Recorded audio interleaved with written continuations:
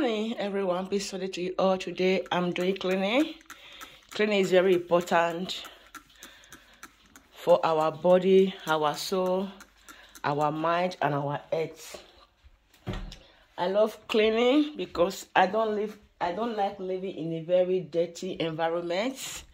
Although I clean every week, you know, especially when you have children, it is very important for you to keep your house the environment that your children are living in very clean every time.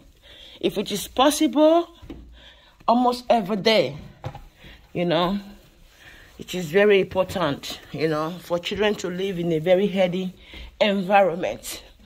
You know, this is my window, my living room windows. I'm going to clean them now. You can see this is what I'm using to clean them.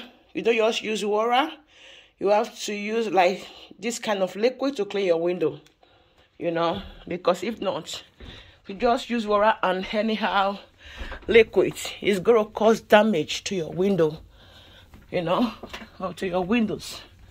So this is my outside i'm gonna clean it very well. Yeah.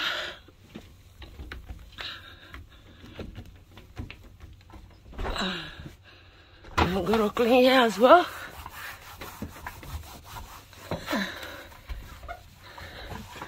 yeah this is my balcony and these are these are our games. And this is where we normally sit down during summer period. You know these are my this is my balcony. You can see it. I'm going to do a little bit cleaning although it's not that dirty but i'm going to do a little bit cleaning later.